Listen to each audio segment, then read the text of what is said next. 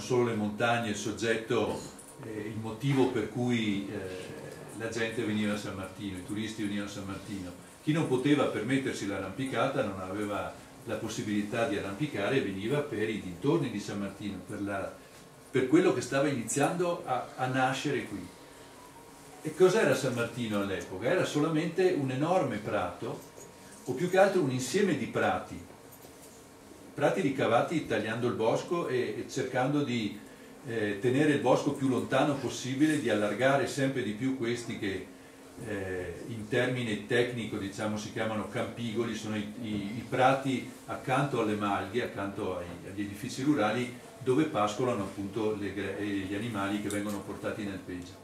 Era un grande alpeggio gestito comunità, dalle comunità di Primiero, di proprietà però della, eh, del priorato di San Martino di Castrozza, che lo dava in gestione appunto ai vari, ai vari comuni della valle, in cui questi erano gli incontri normali che si potevano fare eh, a quell'epoca.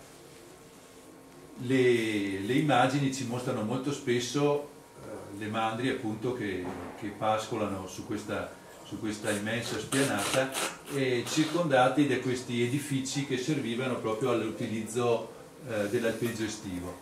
Vedete le zone disboscate sono molto più ampie di oggi e servivano, erano zone importantissime alpene disboscate appunto perché servivano al mantenimento di, questi, di queste mandrie. D'altra parte tutte le famiglie si spostavano eh, a monte per l'alpeggio, qui per esempio in un'immagine è la zona di Malgaces, venivano costruiti questi recinti in cui venivano messi degli animali di tipo particolare, per esempio, visto che il toponimo Castrozza sembra derivare dal, eh, dall'alpeggio degli animali castrati, in recinti di questo tipo venivano appunto tenuti separati dagli altri animali il, eh, gli animali eh, castrati appunto.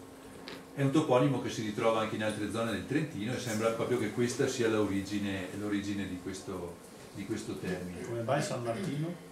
San Martino perché l'ospizio e la, la, chiesetta vicina invece era dedicata a San Martino, Santi Martino e Giuliano. Però il principale era Martino, è un santo che si ritrova molto spesso negli ospizi su, il, su tutta la catena delle Alpi. Era proprio legato anche al, al discorso dei viandanti. Dei, dei viandanti. Ecco, perciò San Martino è questa qui. Alla fine alla metà del 1800, questo è San Martino, un grande prato, gli edifici rurali che lo circondano sono di questo tipo qui, è tipica architettura della nostra valle, della valle di Primiero, questo è praticamente un, un opificio, è, è, uno, è un, eh, un edificio che svolgeva tutte le funzioni dell'alpeggio. In un edificio ci sono quattro funzioni ben separate, verticalmente e orizzontalmente. La zona di legno con questi tronchi che chiamiamo stelari sono eh, arieggiati, permettono la reazione, serve per, mettere, eh, per mantenere il fieno, l'erba tagliata. La zona immediatamente vicina serve per dormire, dove i magari dormivano. La zona subito sotto serve per fare i prodotti caseari, il fuoco, per mangiare, per stare al caldo. La zona sotto al fienile serve chiaramente da stalla. Per cui in questo edificio muratura, legno, tetto di scandolo e di larice, è tipico e viene riprodotto in, in tantissimi esempi nella nostra valle. Eh, questo edificio ha in sé appunto tutte le funzioni che servivano ai malgari che trascorrevano qui tutta l'estate. Nella piana di Castrozza ce n'erano due o tre, molto grandi. Questo per esempio è l'attuale stazione delle autocorriere, che conoscete qui sotto in centro. È in quella zona. Vedete che qui non ci sono i due eh, locali accessori che sono invece nella malga vicina, molto spesso c'era la divisione Tavià, Stalla e Malga vicina, il Tavià è il fienile per noi. Attorno perciò all'Alpe di Castrozza c'erano solamente questi piccoli edifici, questi, eh, non piccoli, questi importanti edifici dal punto di vista eh, rurale. E poi queste grandi zone di pascolo come vi dicevo liberate, questa è la zona di, di Praticò, liberate dagli alberi il più possibile per permettere di avere più eh, terreno disponibile per le mandrie. Questi sono i territori che questi primi aristocratici che arrivano a San Martino, queste prime famiglie, eh, prediligono per le passeggiate, per eh, conoscere il territorio e per eh, conoscerne anche tutti gli aspetti del territorio che è sotto le montagne. I frequentatori di San Martino a quell'epoca, come vi dicevo, sono parte della migliore aristocrazia europea. Germanici, austro-ungarici, eh, britannici, francesi, le cartoline ce lo dimostrano, arrivano, venivano spedite in tutta Europa e troviamo cartoline eh, spedite veramente anche in tutto il mondo da San Martino di Castrozza. La fama della località si arricchiva anche per la presenza di personaggi molto importanti. Eh, I giornali d'epoca per esempio riportavano le, le, liste degli alberghi, le liste di ospiti degli alberghi e ci fanno sapere che qui eh, soggiornava per esempio l'arciduca Francesco Ferdinando, quello l'erede del trono ucciso a Sarajevo. La moglie dell'arciduca Rodolfo, il figlio di Francesco Giuseppe, è stata a San Martino di Castrozza. I membri della famiglia imperiale diciamo, hanno frequentato quasi tutti, a parte l'imperatore e l'imperatrice, San Martino di Castrozza. Eh, ma non solo loro, anche tutto un mondo fatto di artisti, di eh, politici importanti, di militari importanti eh, che all'epoca avevano una funzione, come vi dicevo, molto, molto importante dal punto di vista politico, frequentava San Martino. Richard Strauss qui ha scritto l'Alpensinfonie, eh, Adolf Loos veniva a San Martino, Sigmund Freud, Jung, Hofmannsthal, potrei citarne a decine eh, e questi vi, vi compongono proprio il quadro della cultura mitteleuropea. Il più famoso di tutti, Arthur Schnitzler, che qui a San Martino eh, scrisse il famoso romanzo che vi citavo prima, La signorina Else, che è proprio ambientato a San Martino e vi consiglio se non l'avete fatto di leggerlo, perché dà proprio delle descrizioni particolari delle montagne. Appunto questi personaggi iniziano a conoscere i dintorni di San Martino, ma non solamente, iniziano anche a creare un ipotetico embrione di eh, azienda per il turismo, diciamo. Si raggruppano, costituiscono una società di amici e appassionati di San Martino e iniziano a divulgare la località non solamente con le cartoline ma anche tramite eh, la pubblicazione delle mappe che indicano i primi sentieri che si possono trovare intorno al paese. Ecco, è di fronte a una, a una serata come questa, che non era Ara San Martino nella zona dei Praticol, eh, che Arthur Schnitzler fa dire alla signorina Else questa frase che è eh, veramente indicativa di quello che si prova quando si vedono le pale al tramonto. Vi dicevo, questo gruppo di amici, quasi, quasi tutti germanici a dire la verità, eh, inizia a creare questa rete di sentieri, che poi è la rete su cui si basano anche i sentieri di oggi, quelli che fate quando fate le passeggiate intorno al paese, sono, appunto ricalcano i sentieri creati da questo gruppo negli anni sulla fine e l'inizio del 1900, eh, fine 800 e inizio 900. E pubblicano queste, cartoli, queste cartine insieme a delle guide che indicavano i tempi di percorrenza, dove si poteva trovare la malga aperta per bere dell'acqua, per bere del latte, come si poteva raggiungere Passorolle, come si poteva raggiungere le varie località vicine, per cui dava un po' eh, una prima immagine turistica veramente della località, anche se come vedete gli edifici sono molto pochi. E queste sono le vie che si trovano intorno al paese, la via del cacciatore che si chiamava ancora Jägersteig in tedesco, o la Val Cigolera, tutte vie e sentieri che se frequentate San Martino d'estate eh, vi portano proprio un po' lontano dall'Alpe centrale di Castrozza ma vi fanno scoprire posti bellissimi dei nostri dintorni. La zona sud del paese che adesso è pochissimo frequentata però allora era era circondata da una serie di sentieri molto importanti e si sono incaricati anche di fare una, una primitiva segnaletica che portava i primi turisti nelle località più belle, tipo i laghi di Colbricon. Ecco. Questa è una delle zone più belle del Trentino, direi. la zona dei Prati Col, da cui si vede tutto il paese, qui se salite lungo, questo era uno degli alpeggi anche, eh?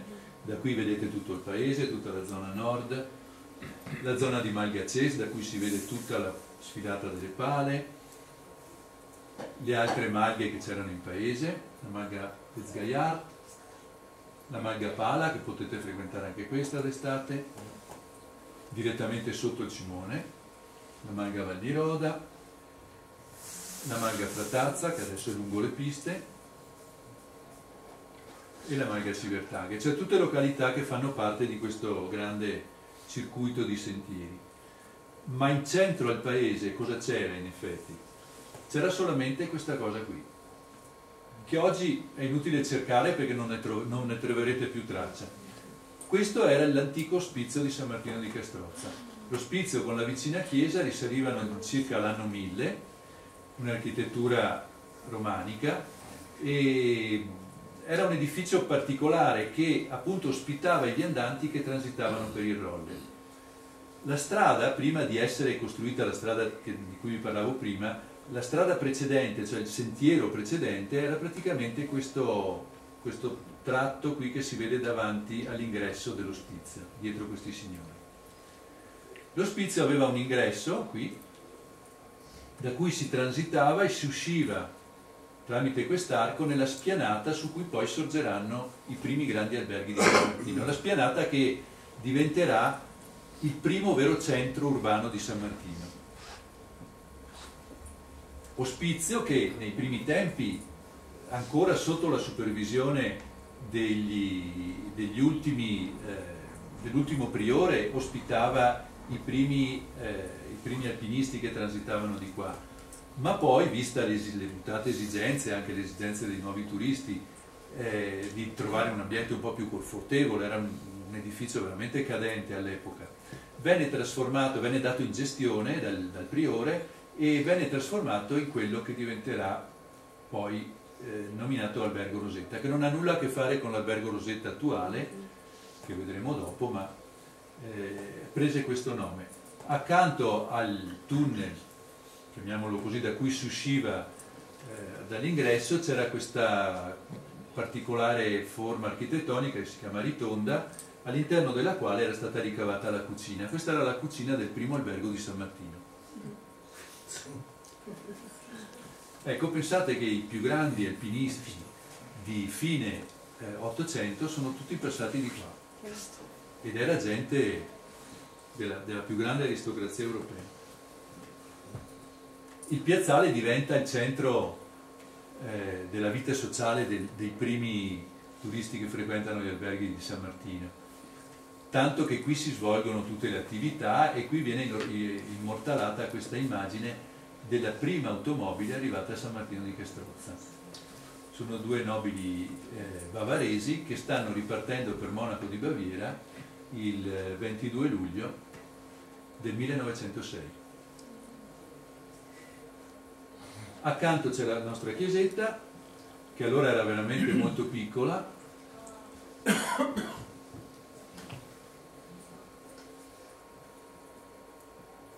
nel 1912 viene ingrandita ed è come la vedete oggi, attorno alla quale, come in quasi tutti i paesi dolomitici, c'era il, il cimitero che poi è stato smantellato ed è attorno a questo nucleo, attorno all'ospizio che nasce San Martino di Castrozza come paese. Possiamo definirlo un paese un po' strano perché effettivamente non è un paese che eh, richiama abitanti eh, che costruiscono le singole case, gli edifici privati, eccetera. È un paese di alberghi, tant'è che eh, alla fine della, nei primi anni del 1900 viene definita come un'albergopoli. Non ci sono case private, ci sono solamente alberghi nei primi anni a San Martino. E San Martino, che inizialmente si presenta così, inizia proprio accanto all'ospizio, che è in questa zona, è questo qui, dietro, inizia a sviluppare da lì la propria eh, capacità alberghiera. I pochi edifici che ci sono allora sono solo la, la chiesa, l'ospizio e la casa cantoniera.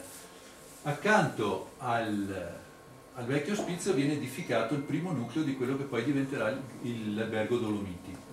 che è quel grande albergone che vedete in centro sotto la chiesa. Vicino a questo, un po' più in alto, eh, nel 1895 nasce l'albergo Toffol, che poi diventa il Grand Hotel des Alpes, qui sotto di noi, e alcuni anni dopo, all'inizio del 1900, 1904-5, nasce il terzo grande albergo, che qui è solo una casetta piccola, che si chiamava Alpenrose e diventerà il Palazzo Sasmaor, in centro al paese. Sono tre i grandi pionieri del turismo alberghiero di San Martino e poi li vedremo uno a uno quando guarderemo gli alberghi. Ecco, vedete che piano piano il paese, se così si può chiamare, prende una, una fisionomia urbana, però come vedete è solamente un paese costituito da grandi alberghi, appunto questo Alpenrose, il Dolomiti, il Cimone in mezzo e l'Hotel Toffo che poi diventerà il design. E qui è proprio un paese formato da alberghi. Si riempiva l'estate, si svuotava d'inverno. D'inverno rimaneva una, una, zona completamente silenziosa, veniva tenuta aperta la strada che conduceva a Rolle. Un po' alla volta si costruiscono anche i primi caffè, i primi bar, questo ne è un esempio, l'hotel centrale o bar centrale che trovate in centro, addirittura aveva il deposito della benzina in quei tempi, e le prime case private. Prima della prima guerra mondiale sono solo due le case, una casa dove dormivano le guide alpine, detta Casa delle Guide, che poi verrà ampliata e costruita in muratura, e questa che è la casa di un pittore di Venezia che decise di venire a abitare a San Martino, si chiamava Voltolina, e si costruì questa piccola casetta chiedendo un pezzo di terreno, eh, in, acquistando un pezzo di terreno proprio dal priorato, questa piccola casetta su quella che poi diventerà la strada che porta a Malgazes. Nel 1913, siamo alla fine dell'epoca d'oro della Belle Époque per San Martino, sono, risalgono queste immagini stereoscopiche che ci fanno vedere un po' eh, la vita quotidiana del paese e ce ne fanno anche eh, apprezzare molti particolari costruttivi degli edifici. Qui si vedono i grandi alberghi già quasi nella loro forma definitiva, l'Alpenrose e il Dolomiti. La casa delle guide è questa, che ancora, era ancora in legno. Il Grand Hotel des Alpes con le dépendance che venivano costruite di volta in volta per ognuno di questi grandi alberghi il centro del paese dove adesso c'è il ponte e poi delle immagini anche della vita che questi eh, aristocratici facevano in paese, ci fa anche apprezzare queste immagini anche gli abbigliamenti la, addirittura la, il momento della colazione al, al Dolomiti ci fa anche vedere un po' la ricchezza di questi, di questi locali, di questi, delle suppellettili anche che venivano utilizzate.